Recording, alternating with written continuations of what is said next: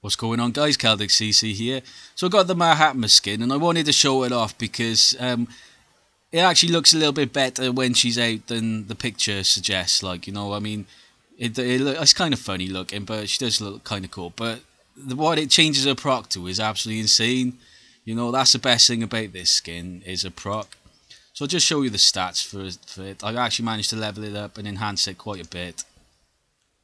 So um, you see there, that's what you know, I mean, it, the skin enhancements are pretty big on a on a hero. So you can see there in total, it gives her an extra 15,875. I got up to level six, 15,875 HP, 635 attack, 75 accuracy, 75 dodge, 40 crit, and 40 crit resist. So it's always a good idea to enhance the skin as much as possible. It really does help the hero, like you know.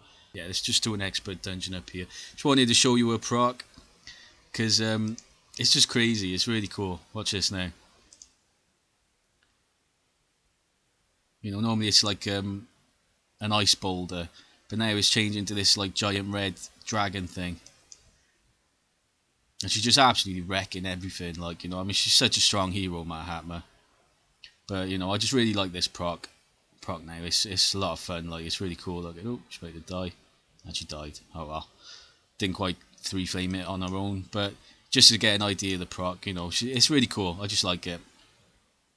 You know and uh, yeah, you know, it's worth getting. I, I, I just like the, I really like the skin. I really like the proc, and um, yeah, she's a like massive boost to her at the moment with all those stats, those extra stats. All right, and cheers, guys.